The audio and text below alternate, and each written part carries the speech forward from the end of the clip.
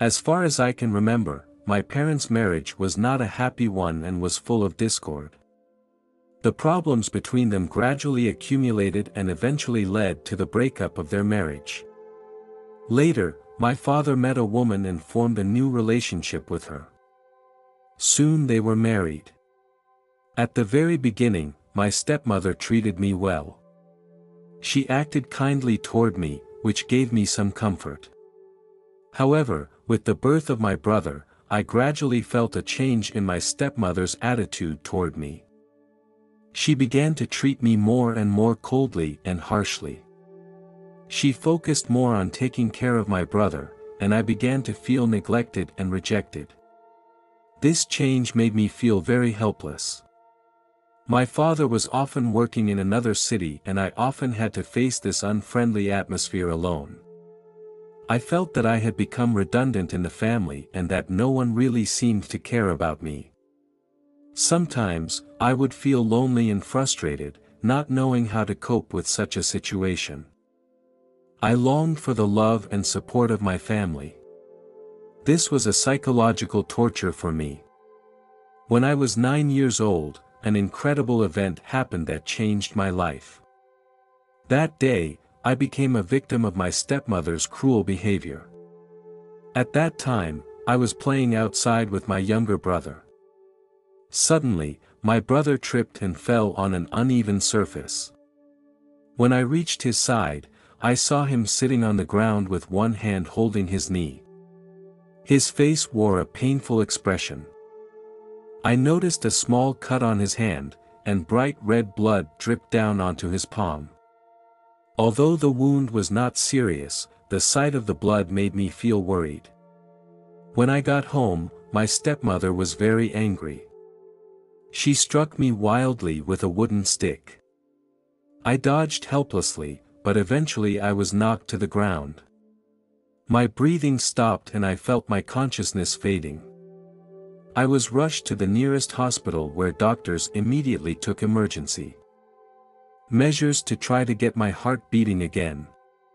In that room, time seemed to take an infinite amount of time. Despite the doctor's best efforts, my heart stopped beating again after a brief period of recovery. At that point, the doctors had to face reality and pronounced me dead.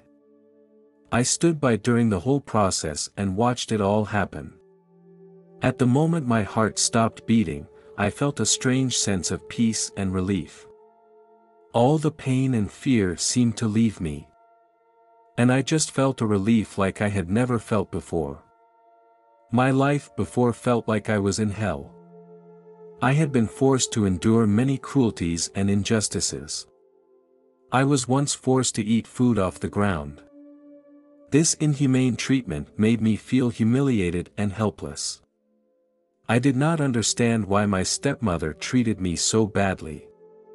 Another time, my stepmother burned my right hand with a cigarette, leaving me with a permanent scar. At that moment, I felt endless pain and fear. There were many other similar incidents, each of which caused me physical and mental harm. I do not want to recall these experiences because they left me feeling fearful and desperate. When I left my body, I felt relief. The pain and suffering left me. Suddenly, I saw my father, who was standing in the hallway of the hospital.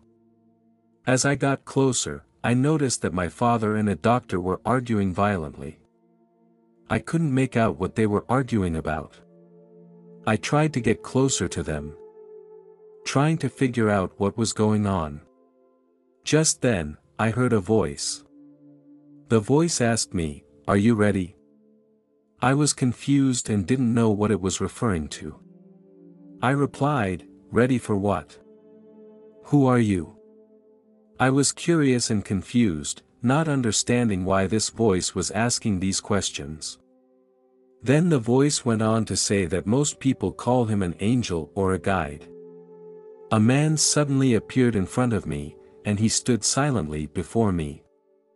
I felt a holy atmosphere surrounding him, causing me to feel an involuntary sense of awe. Curiously, I asked, don't all angels have wings? Why don't you have them? The man smiled and replied, Who says angels must have wings? His voice was gentle but firm. He took me by the hand and led me out of the hospital. We came to a completely new environment. I was very surprised by this place. We were standing at the base of a huge plant, which was tall and magnificent. The leaves of the plant were constantly swaying. As if to welcome us. The leaves were golden and they shone brightly, giving the whole environment a mysterious and serene atmosphere. Not far from us, I saw some wonderful creatures. They were slender and taller than humans. Their faces were narrow, with elegant and delicate lines. They swam freely in the water. These creatures gave off a mysterious glow. We continued deeper and found more peculiar creatures. These creatures looked a little less evolved. They surrounded us. The colors on them were so peculiar that it was hard to describe them in words. This place was not illuminated by sunlight. However, these creatures seem to have found their way to survive in the darkness. They make a peculiar sound. They sing with these beautiful, high-pitched voices that travel through the water. I could hear the songs coming from other similar creatures in the distance, and these voices intertwined. Led by these creatures, we arrived at their home. The caves formed a complex underwater network. In the corners of the caves reside many tiny life forms. They grow in hard shells. They are slender and transparent, and they blend in with the caves to create a fantastical scene. In addition to tiny life forms, some caves are inhabited by huge and ancient creatures. They grow huge shells. These creatures move through the caves at a slow pace and they feed on the plants in the water. The angel reminded me that it was time to leave. Led by the angel, I came into the presence of God. I stood there and felt an intense love. This love was so pure that it surpassed any feeling I had ever experienced. God embraced me, and his arms were filled with endless love. He told me that he already knew the pain I had experienced before. I asked God why he had not prevented the violence from happening, why he had not intervened in the actions that were hurting me. He didn't answer my question directly. He held me tighter. His embrace conveyed endless comfort and solace, a feeling that I had always longed for inside. His love wrapped around me and it was unconditional. In his embrace, I no longer had to endure pain because his love made me feel truly relieved. I know that in his love, I will never feel alone or helpless again. God said to me, I know you want to stay here, away from pain and suffering, but you can't stay in this place just yet. He explained to me that I must return to the real world because my life is not over yet. There are still many experiences and missions waiting for me. I felt frustrated and helpless. I told God that I was afraid to go back, afraid of being hurt and tortured again. God assured me that He would always be with me. I began to cry sadly because leaving God's arms made me feel lost and afraid. God gave me one last hug and His love was close to me. His promise gave me the courage and strength to face the challenges ahead. With God's comfort, I gradually calmed down. The angel took my hand and led me back to the real world. We walked through the wall and came to the hospital room. I saw the doctors still trying to save my life. I saw my father standing anxiously in the hallway, his eyes full of worry and helplessness. The angel nodded to me, signaling me to be strong. I understood that I could no longer run away from reality. I had to get back into my body and face the challenges of life. The angel held my hand, and his presence made me feel very much at ease. I closed my eyes and slowly re-entered my body. When I opened my eyes, a group of doctors surrounded me. They were surprised to see my eyes open and shouted, He's awake. I felt the pulse of life beating again. I knew that God had given me a second life. During my recovery, a female police officer came to my room. The female officer told me that the doctor had reported what had happened to me to the police. I was both thankful and scared to hear this news. I didn't know what was going to happen next. The female officer sat on the edge of the bed and listened patiently to what had happened to me. I described to her the abuse my stepmother had inflicted on me.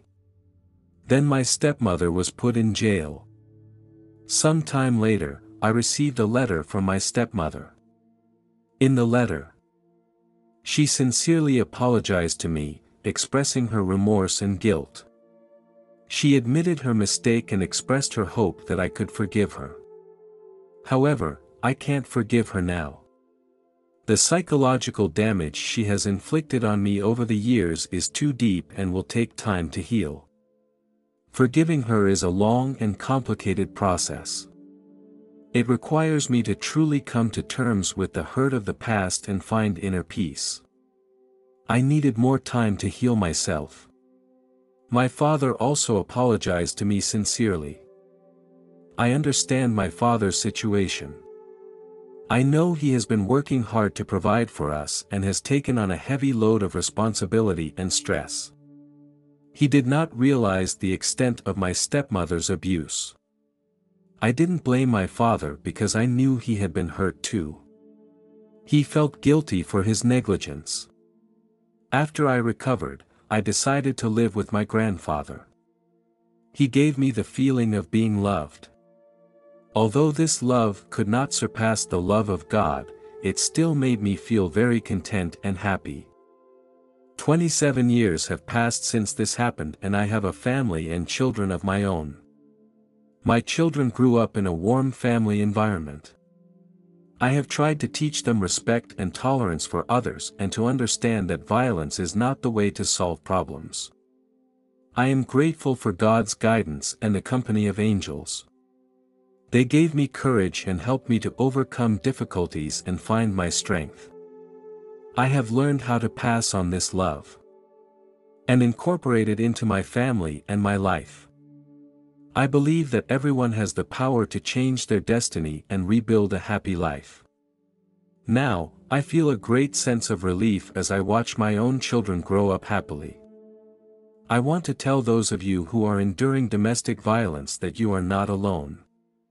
Do not let fear and shame plague you, you do not deserve any form of abuse. You have the right to live a healthy and free life. Domestic abuse is a crime and it should not be tolerated. Remember. You are not alone and you have the right to defend yourselves. Stand up and let the law be your shield and fight for your right to dignity and happiness.